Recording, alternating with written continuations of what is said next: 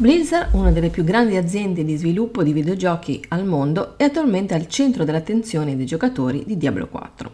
Con l'uscita ormai imminente per la prima stagione, molte persone sono curiose di sapere che interventi Blizzard attuerà nei prossimi sei mesi e come influenzeranno l'esperienza di gioco.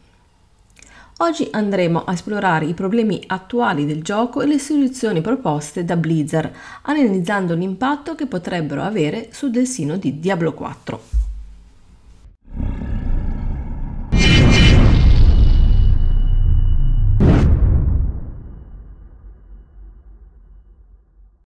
Ormai sono diverse settimane che mi sto occupando di Diablo 4. Ho iniziato a parlarne e quindi a portare dei video uh, fin prima uh, dell'uscita, quindi durante le varie beta.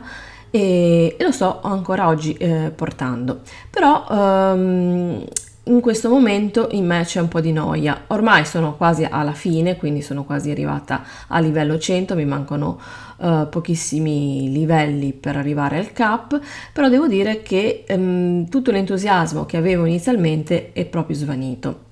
Questo a causa um, della um, noia che mi sta um, nascendo dentro, uh, in quanto comunque eh, alla fine, mh, diciamo dal livello 80 al 100, eh, le cose da fare per poter spare sono veramente eh, risicate, cioè praticamente eh, dobbiamo soltanto per fare una buona esperienza andare a fare i Nightmare eh, Dungeon.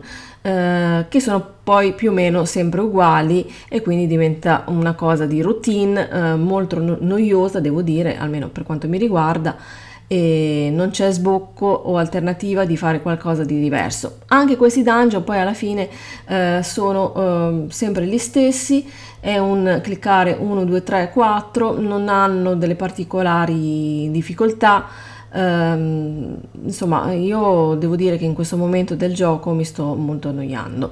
Spero che con l'arrivo della prima stagione le cose un po' uh, vadano a cambiare, ma devo dire che um, essendoci anche poi tanti problemi che affliggono uh, in questo momento Diablo, uh, non sono del tutto positiva in merito.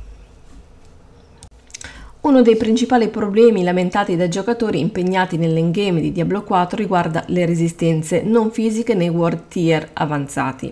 Le resistenze non fisiche sono considerate poco efficaci nel ridurre i danni ricevuti, soprattutto a partire dal world tier 3.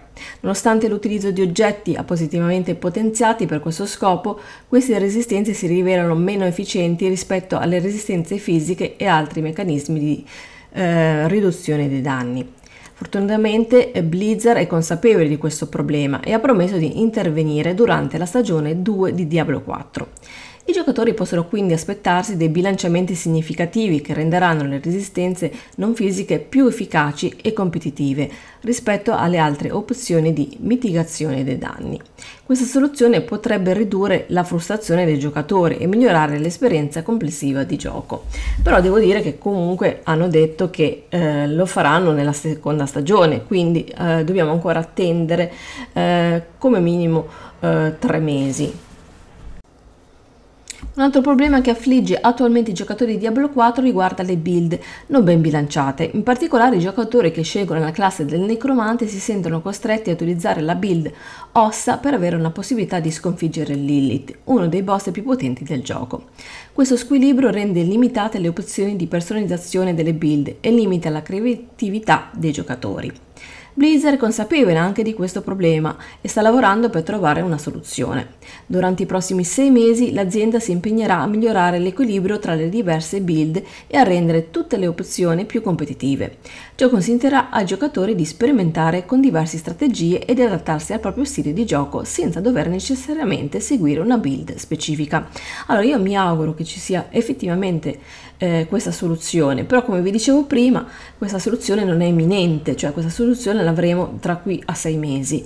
Eh, quindi eh, io in questo momento mi sento molto oh, depressa, tra virgolette, eh, perché comunque con la classe del necromante vi devo dire che per la centesima volta mi sono sentita costretta a cambiare di nuovo la build, anche se quella di ombra eh, mi piaceva molto, eh, era tra virgolette perfetta per andare a fare le cose del mio livello, però comunque per, se eh, volessi andare ad affrontare Lilith a quanto pare ehm, avrei scarse eh, possibilità eh, di andare a sconfiggere eh, quel boss lì. Uh, quindi tutte queste cose uh, mi hanno un po' lasciato con l'amare in bocca. Uh, fatemi sapere se anche voi siete della stessa opinione, se vi state annoiando. Um, se ritenete che Blizza poteva fare di più, visto che comunque è un gioco che abbiamo pagato molto, eh, devo dire che è il gioco che ho pagato più di tutti i giochi che ho comprato, ho pagato 90 euro e quindi mi aspettavo un, un prodotto eh, diciamo altamente migliore. Ehm, gli interventi di Blizzard nei prossimi sei mesi avranno un ruolo determinante quindi nel definire il successo o il fallimento di Diablo 4. La risoluzione dei problemi legati alle resistenze non fisiche e alle build non bilanciate sono cruciali nel garantire un'esperienza di gioco gratificante e appagante per i giocatori. Con l'impegno dichiarato da Blizzard nel risolvere queste problematiche c'è motivo di essere ottimisti per il futuro del gioco. C'è anche da dire che però comunque eh, molte persone hanno abbandonato, quindi stiamo davanti a una piccola emorragia che potrebbe diventare anche grande perché eh, sta perdendo il gioco parecchi eh, giocatori. Questo lo vedremo magari se ehm, potrebbe essere una soluzione l'arrivo della stagione 1. Adesso andrò a fare un altro video dove spiegherò tutte eh, le novità per quanto riguarda la stagione 1. Quindi rimanete sintonizzati, fatemi sapere cosa ne pensate qui sotto nei commenti di questo argomento e poi andremo a fare e a guardare il nuovo video. Ciao a tutti e alla prossima!